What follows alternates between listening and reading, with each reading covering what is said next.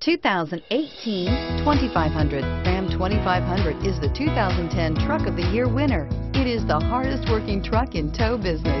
This vehicle has less than 100 miles. Here are some of this vehicle's great options.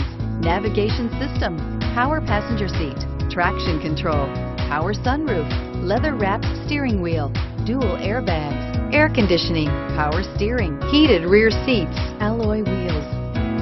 Is love at first sight really possible? Let us know when you stop in.